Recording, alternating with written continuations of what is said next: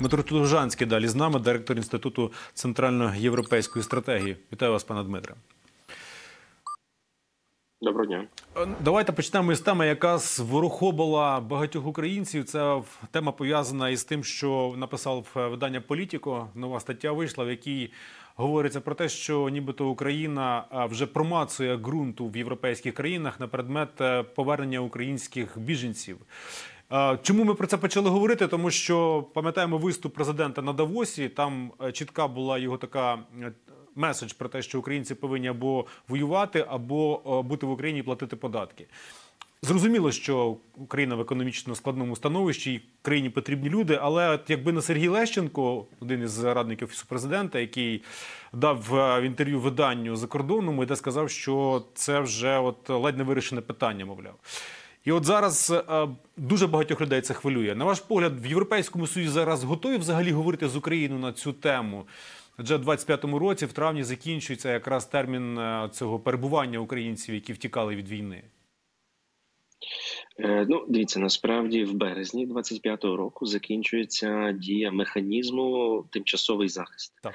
і е, про це насправді Євросоюз е, якби постійно говорить насправді з українською стороною, говорить всередині е, союзу, як це має відбуватися. Бо от я був в Брюсселі, ми зустрічалися з профільним е, єврокомісаром, і е, вона сказала, що е, продовжувати ще раз оцей механізм тимчасового захисту Євросоюз, Єврокомісія не планує.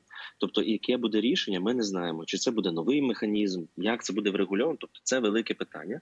Е, і е, ну, бачите, українська сторона також в цьому плані включилася, але ну, ви зрозумієте, якби там е, ну ми можемо якось намагатися проінтерпретувати чиїсь слова, і тут я радше не про слова президента, а про слова Сергія Лещенка, і це інтерв'ю справді скандальне, але ну є права людини, розумієте, є конституція України і так далі, тому подібне. Тому тут знаєте, складно буде, як би кому не хотілося. Я не знаю, їх там якось обмежити чи порушити. Е, От крім звичайно здорового глузду і права вибору людини, де вона перебуває, е, де вона проживає, де вона відчуває себе в безпеці. Е, Тому будуть дискусії, будуть складні дискусії в нас всередині країни. Вже зараз це питання розколює суспільство. Так, тобто є, є оцей розкол. Це дуже небезпечний розкол, і тому політики мають бути дуже, як на мене, відповідальними у своїх словах. І знову ж таки зараз я більше про пана Сергія Лещенка кажу Ну, ніж е, про я- пана президента. От президент перепрошую, якраз ініціював оцей законопроект про подвійне громадянство. І взагалі ця тема нарешті у нас стає, знаєте, не такою страшилкою, якою лякали там, е, не знаю, там оцими румунськими угорськими паспортами. Я не знаю, ще якими там, дивлячись, хто злібералізував е, з наших сусідів. Так ключова загроза для нас це російський паспорт і Росія. А все решта це знаєте моделі, які нам так чи інакше треба буде адаптовувати, якщо ми хочемо будувати політичну націю, якщо ми хочемо мати зв'язок з діаспорами, і знову ж таки, якщо ми хочемо перетворювати. е, Нашу діаспору в наших інвесторів та я знаєте такий приклад наведу вам китайське економічне диво 20-го століття. Воно це диво за кошти діаспори. Ну, з іншого боку, е, якщо зараз е, є такі розмови в Європейському Союзі, то тоді можливо зараз потрібно починати і в українському суспільстві обережно про це говорити, не такими скандальними заявами, як сказав Лещенко. А пояснювати українців, куди вони будуть повертатися, на що вони будуть повертатися, які гарантії безпеки вони будуть мати. Ну, принаймні, куди повертатися маріупольцям, е, харків'янам, іншим там інш, іншим українцям, які втратили свої домівки, як буде здійснювати якийсь певний захист їхніх е, інтересів в Україні. Тобто тут ціла низка простає проблем, від, не знаходячи відповіді на яких. Знову ж таки, через такі скандальні речі, ми тільки правильно кажете, розбурхуємо суспільство. До речі, Стефанішина, Ольга Стефанішина сказала: от е, знову цитую, «Е, однозначно не є прямою позицією України про те, що українці мають повертатися назад, і тому має скорочуватися будь-яка їхня допомога в ЄС. Цього абсолютно немає. Це ось сьогодні прозвучала ця заява. Можливо, для того, щоб якось перебити той скандальний шлейф від Сергія Лещенка. Але тим не менше, чи потрібна зараз ця дискусія всередині країни? Чи повинні люди зараз хоча б напрямки розуміти? Або от знову ця проблема виникне ні звідки, і знову будемо мати черговий скандал. Ну, дивіться, ця дискусія вже йде. Е, вона дуже є якісною вже в Україні, профільною. Подивіться тільки інтерв'ю пані Отели Лібанової. Я всіх глядачів закликаю подивитися на її експертну позицію. Є кілька аналітичних центрів, які цим працюють.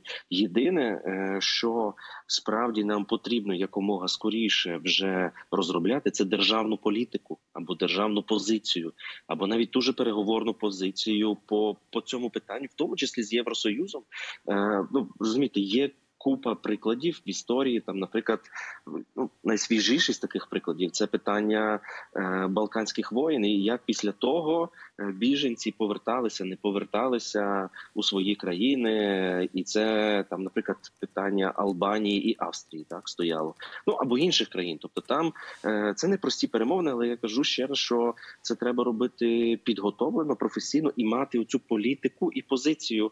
Бо ну є політичні заяви, це будуть скандал це буде розкол. Ну він вже йде. Треба думати знову ж таки, що це настільки буде чутливе питання, і є вже чутливе питання, що там ну політичні заяви дуже треба ретельно підбирати слова. І другий момент е, треба добре готувати свої заяви для західної аудиторії. Розумієте, тому що знову ж таки там ключове це верховенство права і права людини. Розумієте, як ми висловлюємося, навіть якщо ми не маємо на увазі там певні ці, вибачте, совкові практики, от але нам треба дуже чітко говорити, ну про що йдеться, власне. У нас не так багато ще часу залишається. Хотів ще запитати вас про візити Роберта Фіцо до України. Він виторгував фактично в Україні постачання російського газу території України в обмін на те, що не буде блокувати рух України до Європейського союзу. Ну і не буде питання там блокувати по виділенню 50 мільйонів мільярдів до євро. Хоча, в принципі, я вже бачив певне спростування сьогодні про те, що ж в уряді сказали, що ніяких домовленостей з Газпромом ми не будемо е, вести і підписувати контракти на наступний рік не буде. Якщо хочуть словаки, то хай орендують нашу ГТС і, будь ласка, постачають газ до себе. Тобто, от де отут дисконект, якийсь певний відбувся, про що все ж таки домовилися, незрозуміло. Ну, дивіться, насправді, е, попри цю скандальний такий шлейф, от цього візиту Роберта Фіцо, особливо з огляду на його заяви, там суботнє інтерв'ю було. Потім він напередодні візиту ще сказав дивні речі. Е, сама зустріч, як на мене, була. Ну, знаєте, я не хочу якийсь такий надмірний оптимізм висловлювати, але вона була дуже якісною. Подивитися, навіть чесно кажучи, е, про те, що якби домовились. Ну це дивіться, зараз це ж на рівні ну скажімо так, е, планів. Так, тобто зараз це е, їх треба втілювати. Роберт Фісо приїхав з чудовою делегацією, з дуже сильною делегацією. Так, дуже там два віце-прем'єри, був пан Калиняк, тобто міністр оборони Українська от урядова делегація також була сильною. Тобто, прем'єр, два віце-прем'єри. Знову ж таки була добра, добра розмова, дуже прагматична. Домовилися, от якраз працювати у цих всіх напрямках, і знову ж таки, там крім газу, до прикладу, і якщо ну Зрозуміло, що Україна не буде ніякий контракт підписувати з Газпромом. Так само там буде стояти питання в найближчій перспективі експлуатації нафтопроводу Дружба. Бо знову ж таки скажу, що оцю російську нафту Уралс закачує не тільки Угорщина, а й Словаччина. От там є питання знову ж таки цього інтерконектора між Словаччиною і Україною. Окреме питання це е, ремонтного комплексу для збройних сил України в Михайловцях. Це буквально 80 кілометрів біля Ужгорода чи 20, чесно кажучи. От і ще я дуже раджу звернути увагу, куди Роберт Фіцо поїхав після України. Це була Німеччина. Тобто, треба розуміти, що Е, на щастя, незалежно від того, яку буде внутрішню політику проводити Роберт Фіцо, які би він скандальні заяви не робив, але е, в найближчій принаймні перспективі він на щастя не стане для нас е, проблемним гравцем. Тут питання, чи зможемо ми знову ж таки втілити оці прагматичні домовленості, про ну, домовленості, плани, які якраз узгодили два прем'єр-міністри. Є є що робити там знову ж таки від речей, про які я сказав, до там розбудови автомагістралі Д1 до кордону з України. Там лишилося 100 кілометрів. Залізницю можна побудувати. Там треба всього 11 кілометрів дотягнути вузької колії. Е, Ну КПП Ужгород, я вже не кажу. Це якийсь такий вічний довгобут.